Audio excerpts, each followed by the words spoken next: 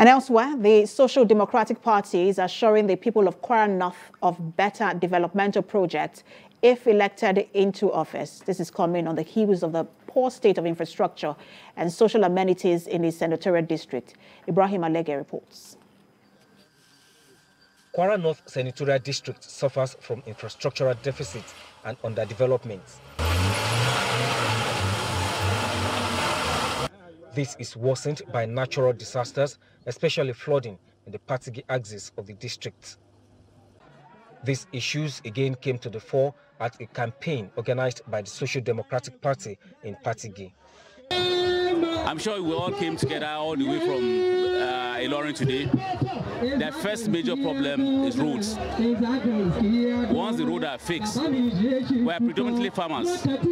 Once the roads are fixed, everything will fall in place. If there is any word we can use, the challenges face, facing Kwara North is more than challenges. If there is any word that we can use, we will use it.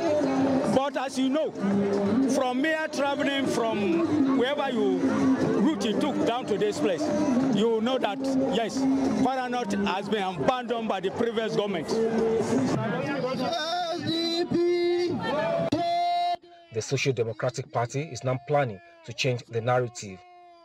The party's senatorial candidate for Kwara North, Abdul Kadri Atahiru Manko, says the party is ready to tackle the problems of the zone if voted into power. They have two, three things they usually ask for. Fix the roads, lastly, provide us with loans for us to be able to trade with. That's just a problem. We are not lazy.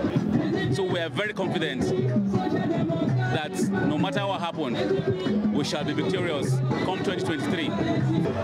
Tackling the problems of Kwara North is a huge challenge for any government. But you see, Kwara North is sitting on enormous potential, enormous wealth for Kwara. For any serious government, right? If you focus on agriculture, right, mining, it will elevate a lot of the problems that we have in Kwara State. Kwara North has five local government areas. They are Moro, Edu, Patigi, Barutin, and Kayama. Ibrahim Alige, TVC News, Patigi, Kwara State.